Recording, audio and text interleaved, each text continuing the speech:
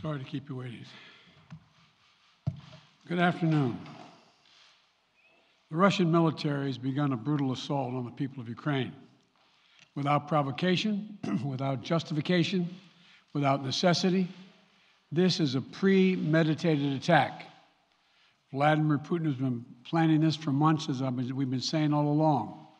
He moved more than 175,000 troops, military equipment, and positions along the Ukrainian border. He moved blood supplies into position and built a field hospital, which uh, tells you all you need to know about his intentions all along. He rejected every good faith effort the United States and our allies and partners made to address our mutual security concerns through dialogue to avoid needless conflict and avert human suffering. For weeks, for weeks, we have been warning that this would happen. And now it's unfolding largely as we predicted. In the past week, we've seen shelling increase in the Donbass, a region in eastern Ukraine controlled by Russian backed separatists. The Russian government has perpetrated cyber attacks against Ukraine. We saw a staged political theater in Moscow, outlandish and baseless claims that Ukraine was, a, Ukraine was about to invade and launch a war against Russia, that Ukraine was prepared to use chemical weapons, that Ukraine committed a genocide without any evidence. We saw a flagrant violation of international law in attempting to unilaterally create two new so called republics on sovereign Ukrainian territory. And at the very moment that the United Nations Security Council was meeting to stand up for U- Ukraine's sovereignty, to stave off invasion, Putin declared his war. Within moments, moments, missile strikes began to fall on historic cities across Ukraine. Then came the air raids, followed by tanks and troops rolling in. We've been transparent with the world. We've shared declassified evidence about Russia's plans and cyber attacks and false pretexts so that there could be no confusion or cover up about what Putin was doing. Putin is the aggressor. Putin chose this war, and now he and his country will bear the consequences. Today, I'm authorizing additional strong sanctions and new limitations on what can be exported to Russia. This is going to impose severe cost on the Russian economy, both immediately and over time. We have purposely designed these sanctions to maximize the long term impact on Russia and to minimize the impact on the United States and our allies. I want to be clear the United States is not doing this alone. For months, we've been building a coalition of partners representing well more than half the global economy. 27 members of the European Union, including France, Germany, Italy, as well as the United Kingdom, Canada, Japan, Australia, New Zealand, and many others, to amplify the joint impact of our response. I just spoke with the G7 leaders this morning, and we're in full and total agreement. We will limit Russia's ability to do business in dollars, euros, pounds, and yen to be part of the global economy. We'll limit their ability to do that. We're going to stunt the ability of, to finance and grow Rus- the, the Russian military. We're going to impose major, and we're going to impair their ability to compete in high tech 21st century economy. We've already seen the impact of our actions on Russia's currency and the ruble, which early today hit its weakest level ever, ever in history. The Russia stock market plunged today. The Russian government borrowing rate spiked by over 15%.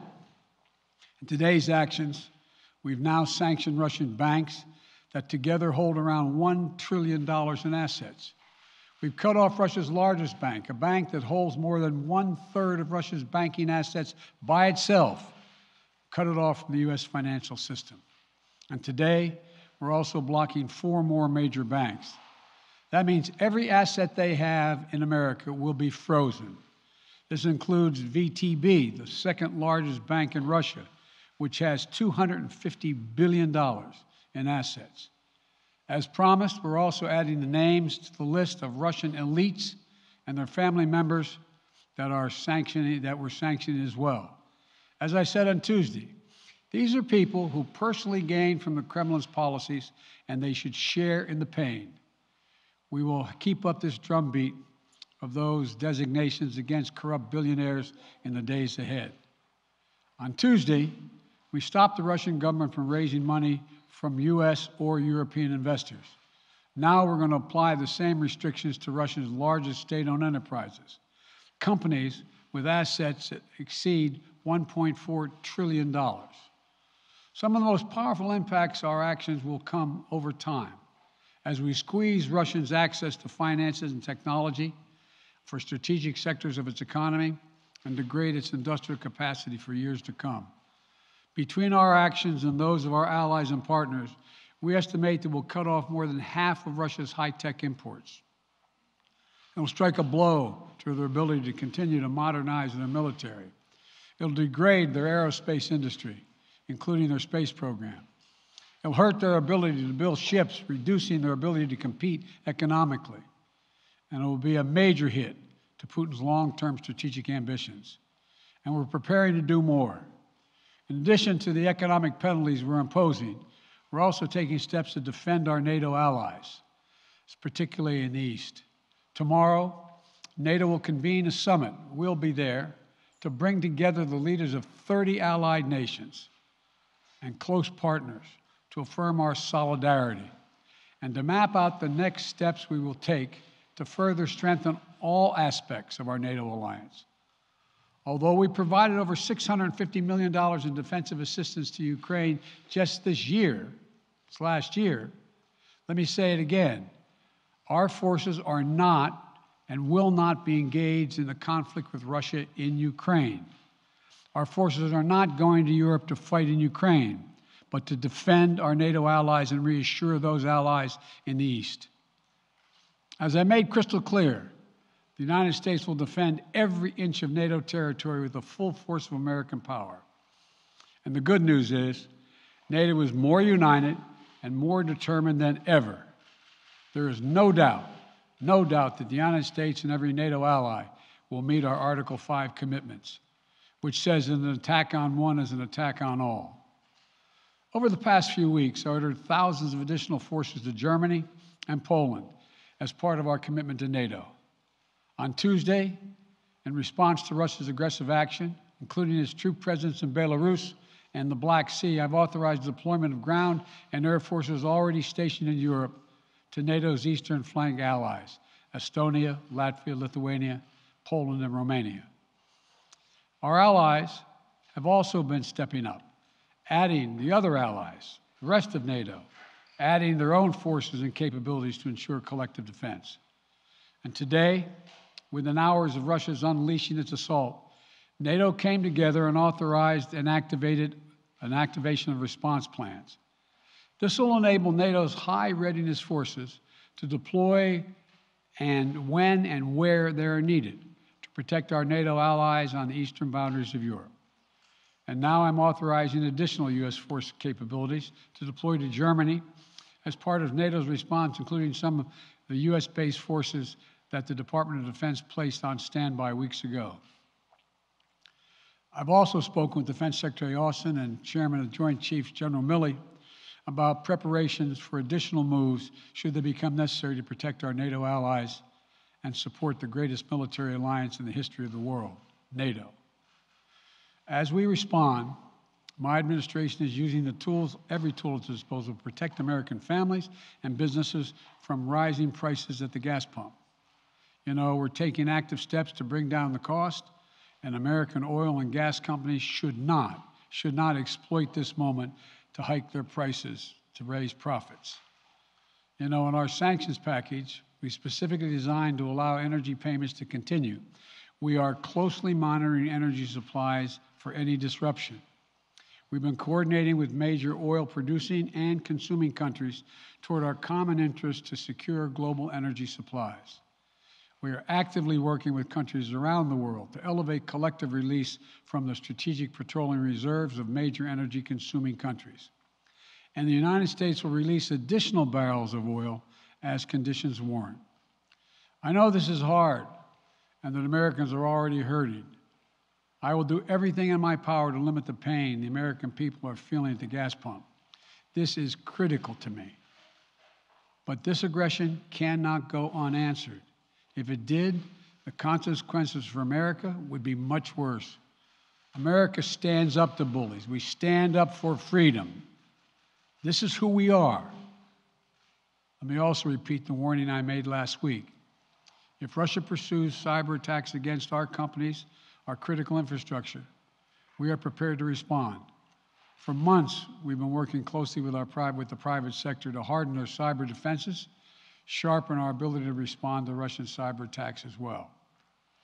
I spoke last night to President Zelensky of Ukraine, and I assured him that the United States, together with our allies and partners in Europe, will support the Ukrainian people as they defend their country. We'll provide humanitarian relief to ease their suffering. And in the early days of this conflict, Russia propaganda outlets will keep trying to hide the truth and claim success for its military operation against a made up threat. But history has shown, time and again, how swift gains in territory eventually give way to grinding occupations, acts of mass civil, mass civil disobedience, and strategic dead ends. The next few weeks and months will be hard on the people of Ukraine.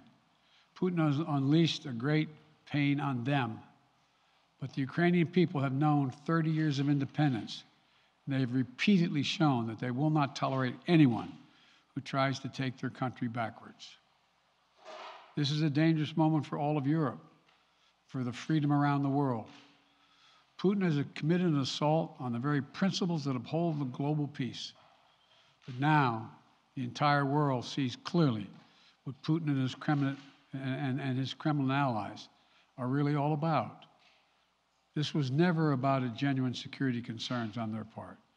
It was always about naked aggression, about Putin's desire for empire by any means necessary, by bullying Russia's neighbors through coercion and corruption, by changing borders by force, and ultimately by choosing a war without a cause. Putin's actions betray his sinister vision for the future of our world one where nations take what they want by force. But it is a vision that the United States and freedom loving nations everywhere will oppose with every tool of our considerable power. The United States and our allies and partners will emerge from this stronger, more united, more determined, and more purposeful. And Putin's aggression against Ukraine will end up costing Russia dearly, economically and strategically. We will make sure of that. Putin will be a pariah on the international stage. Any nation that countenances Russia's naked aggression against Ukraine will be stained by association. When the history of this era is written, Putin's choice to make a totally unjustifiable war on Ukraine will have left Russia weaker and the rest of the world stronger. Liberty, democracy, human dignity, these are the forces far more powerful than fear and oppression. They cannot be extinguished by tyrants like Putin and his armies.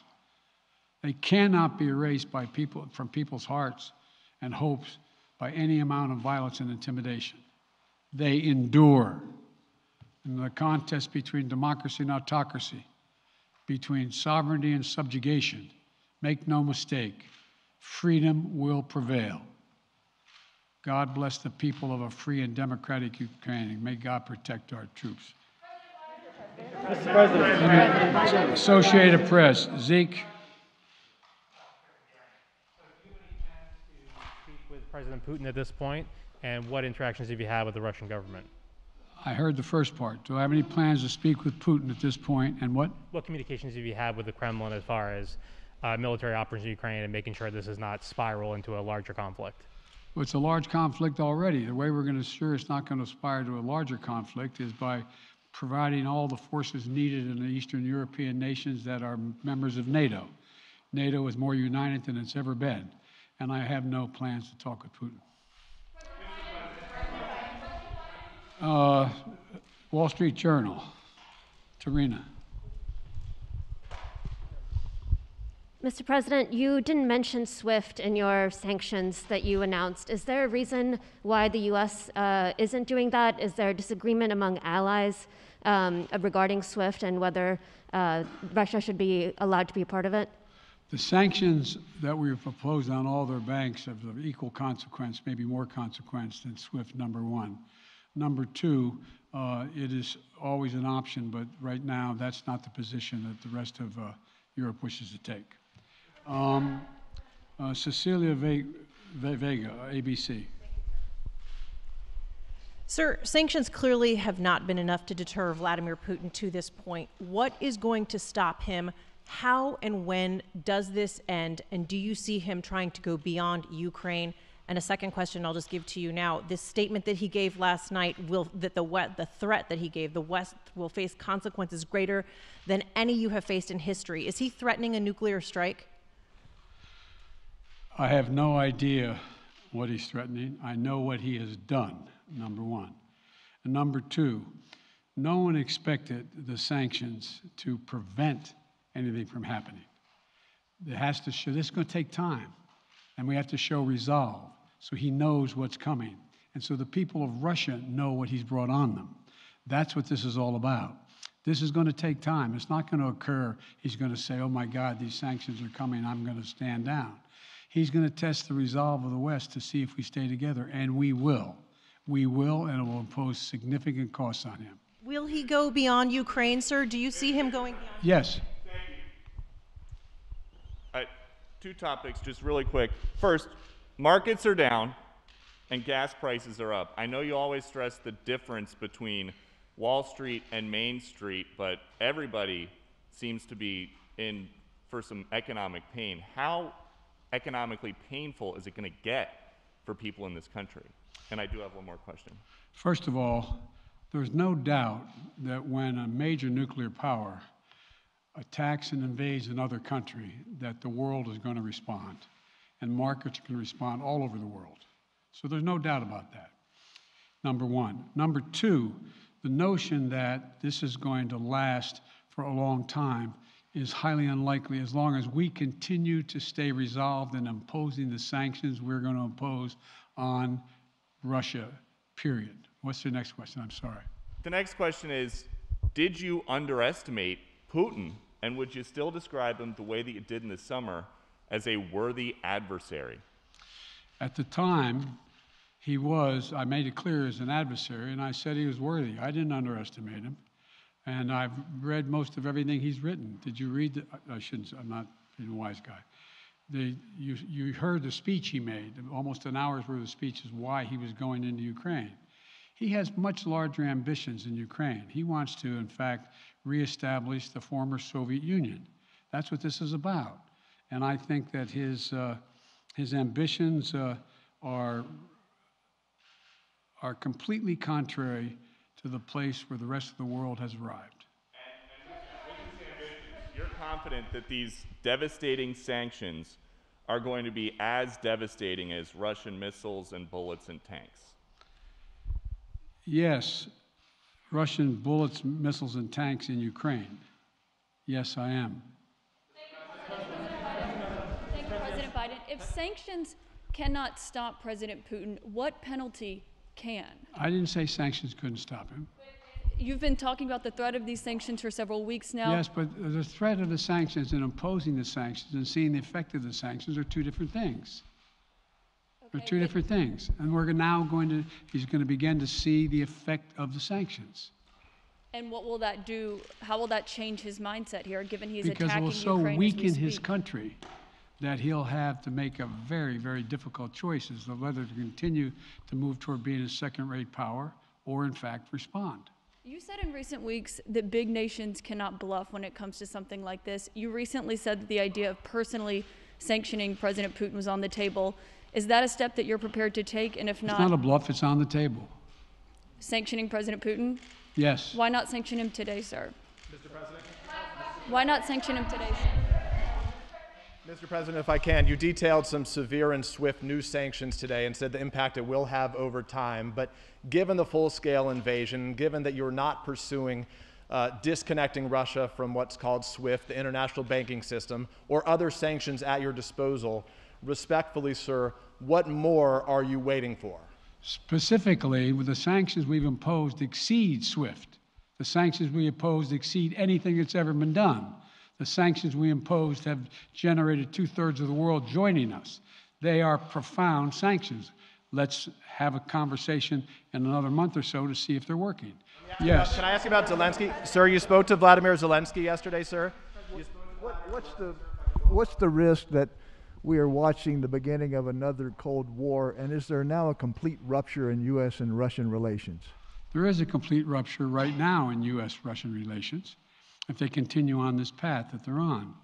And in terms of a Cold War, that depends. You have the vast majority of the rest of the world in total opposition to what he's doing, from Asia to South America to Europe to around the world. And so it's going to be a cold day for Russia. The idea, you don't see a whole lot of people coming to his defense. And are you are, are you if I could follow up, sir? Are you urging China to help isolate Russia? Are you urging China to help isolate Russia? I'm not prepared to comment on that at the moment.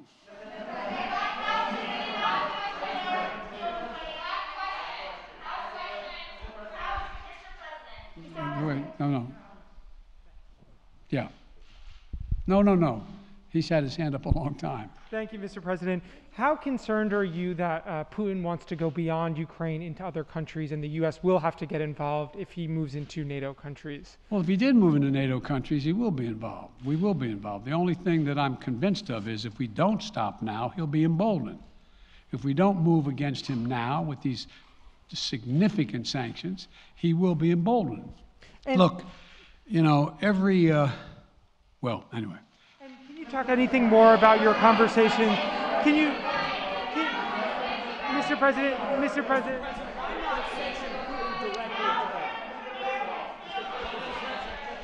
Why not sanction directly? Defense partner for the net, sir, I, I'm sorry, I can't hear you.